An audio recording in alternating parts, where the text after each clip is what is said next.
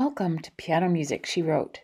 We have invited friends and students to share their performances with us. Please let us know if you'd like to be part of this project. Here is Aftenstemning or Evening Mood by Norwegian composer Anna Lindeman, played by Jonna Lohmer, a German pianist living in Denmark.